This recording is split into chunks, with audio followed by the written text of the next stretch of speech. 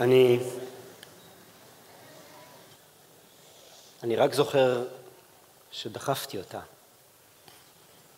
חימום אמרתי לה, משגעת אותי בגלל חימום, וטל נופלת. אני רואה שהראש שלה קיבל שם מכה, אני... היא מנסה להגיד לי משהו, אבל אני לא שומע כלום, יש לי מין צפצוף כזה באוזניים. אני רק רואה אותה נופלת על הרצפה, ושומע את עצמי צועק מרחוק, חם לך עכשיו? חם לך? אבל אז היא פתאום מסתכלת עליי מהרצפה, ואני קולט שהיא ממש לא בסדר. והחובש שבי מתעורר. החובש שהיה רדום כל כך הרבה שנים, פתאום טס למקלחת, פותח ארון תרופות, חוזר עם תחבושת, מבצע חבישה ראשונית בשטח. לא מתנצל, לא מתחנן, קר כמו באמצע קרב. והחובש קורא לאמבולנס. אז הגיע האמבולנס עם שני פרמדיק, הם רואים אותה, רצים אליה. אני שם עומד בסלון מאחור ואומר להם, היא, נתקלה ברדיאטור ונפלה. ואחד הפרמדיקים מסתכל עליי ואומר לי, תחסוך לנו את זה, בסדר? ואני חוסך להם את זה, הרי השקר כל כך שקוף. הם מניחים, אותי, הם מניחים אותה על האלונקה בזהירות, והרופא הקטן לוקח את לילך, אני אומר לו, זה בסדר, זאת הבת שלי, היא איתי. הוא אומר לי, לא, לא, אנחנו ניקח אותה ליתר ביטחון, לבדוק שהכל בסדר, אתה יודע. ואני יודע שהוא משקר, אבל לא מתווכח איתו. וככה כולם נעלמים מהבית, אני שומע את האמבולנס מתרחק ברחוב, ואני מתיישב על הספה בסלון ומחכה לה. יושב ומחכה לה, עד שבאיזשהו שלב שמעתי את הסירנות של המשטרה כשהם באו לקחת אותי. אני חושב שרק כשאתה נמצא בחדר חקירות במשטרה, עם הקירות האפורים והאורות ניאון והחוקר הזה מול העיניים, רק אז אתה פעם ראשונה מקשר את מה שעשית בבית ולהיות פושע, שזה בעצם אותו דבר. עוד החוקר שאל אותי אם אני רוצה לעדכן משפחה, עורך דין, אמרתי לא, לא, מה פתאום, לא צריך. הבושה הייתה יותר חזקה מהפחד להישאר שם. העניין הוא שטל לקח לה איזה יומיים עד שהיא חזרה להכרה, וההורים שלי לא ידעו מכלום, ככה שמבחינת כל העולם הייתי יכול להישאר שם עד היום. אבל אז נפתחה הדלת של תא המעצר, ונכנס דודי. דודי שכבר איזה שנה לא ראיתי. ואני אומר לעצמי בלב, נו בוא, תן את הנאום שלך, תגיד כל מה שאתה חושב עליי ונגמור עניין. אבל הבן אדם שותק, לא אומר מילה. מתקרב אליי, תופס אותי בידיים הענקיות שלו, ומחבק. מחבק חזק, מה זה חזק? לרגע פחדתי שהוא בא להרוג אותי. ואני לא יודע מה קרה לי מהחיבוק הזה, אבל משהו אצלי בלב נשבר לחתיכות. פתאום לרגע היינו אני והוא ביחד בלבנון.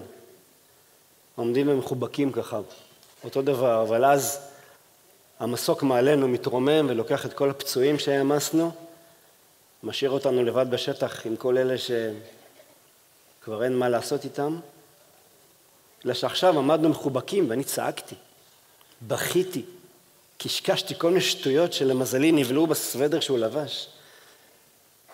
אחר כך, כעבור כמה דקות, אני מוצא את עצמי באוטו שלו ואני קולט שהוא לא לוקח אותי הביתה. תגיד, בן אדם, לאן נוסעים? כוס קפה קטנה ואתה נוסע אליי. אתה הולך לגור אצלנו כמה ימים עד שתתארגן על עצמך ותתחיל את הטיפול הקבוצתי שלך. זה התנאי של השופט ששחרר אותך הפעם בערבות. רגע, רגע, רגע, מה זאת אומרת טיפול קבוצתי? מה אתה מתכוון, בית משוגעים? לא, דורון, אתה לא משוגע. אל תעשה לעצמך את ההנחות האלו, בן אדם, אתה לא משוגע. אתה דפוק בראש, זה כן. אתה צריך שמישהו יפתח לך את הקופסה ויסדר לך את כל הבלגן, אבל אתה לא משוגע. כי שום תסביכי ילדות וחרנת נטישה ומחסור באהבת אם וטראומה והלם קרב וכל ההסברים של הפסיכולוגים, שום דבר לא מצדיק לא קללה אחת, ובטח שלא מכה אחת. ואף אחד, לא השופט ולא אשתך ולא הבת שלך, אף אחד לא מעניין אותו מה הרגשת וכמה הרגשת וכמה סבלת וכל השטויות האלה. ברגע שאתה מרים אליה יד פעם אחת, אתה קודם כל פושע, אחר כך בן אדם. טוב, אז למה, למה אתה עושה את זה? למה אתה עוזר לי? הוא שתק רגע, ואז הוא אמר לי, אתה זוכר את הכלל הראשון של אירוע רב נפגעים? אנחנו קודם כל מטפלים במי ששקט, מי שלא יכול לצעוק.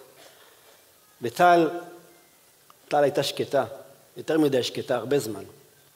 אז עכשיו מטפלים בה. ואתה, אתה צועק, לא סותם את הפה. אז עכשיו הגיע הזמן שגם אתה תקבל עזרה. יש לך מזל שטל תצא מזה, אחרת אתה לא היית רואה אותי יותר בחיים. אבל תהיה בסדר, טל. וחוץ מזה, לכל אחד מגיעה הזדמנות נוספת. אז זאת תמיד מין הזדמנות נוספת שכזאת. הייתי איתם ביחד, אני ועוד שמונה גברים והמטפל, תשעה חודשים. גברים מכל הסוגים, מכל המינים. היה איזה אחד שמגיע לקבוצה שלנו עם איזה אופניים כאלה מצ'וקמקות, ואיזה אחד אחר שבכל סוף פגישה נכנס לאאודי ספורט החדשה שלו ונוסע. זה לא משנה מי אתה, כולנו שחררנו את השד הזה של ההרס. היום אני עומד ומדבר איתכם כמו איזה מרצה באוניברסיטה. אני יכול להסתכל אחורה ולשים את האצבע על כל טעות במסלול שלי ושל טל, אבל בינינו, אותה זה כבר לא מעניין את טל, בשבילה אני פושע. והיא צודקת. אמנם לא בתוך בית כלא, אבל סוג של כלא כזה, של מניעת ביקורים, הגבלת מפגשים, שמירת מרחק. הייתי חייב להיות רחוק ממנה 500 מטר, צו של שופט. פעם דווקא ניסיתי להתקרב, הבאתי לי לילך לגן איזה ספר קטן במתנה, אבל טל יצאה משם וראתה אותי וצעקה שאם אני אעשה עוד צעד אחד היא תקרא למשטרה. אני כל מה שיכולתי לעשות, להתחיל לספור את החמש מאות מטר שלי. אני עוד זוכר אותנו הולכות ברחוב ביחד, טל עדיין עם התחבושת על הפנים, מחזיקה את לילך על הידיים. ניסיתי ככה לעשות לה שלום, אולי תעשה לי בחזרה, אבל היה כבר כנראה רחוק מדי. אז סתם עמדתי והסתכלתי עליהם שם כמה דקות, והמשכתי לספור.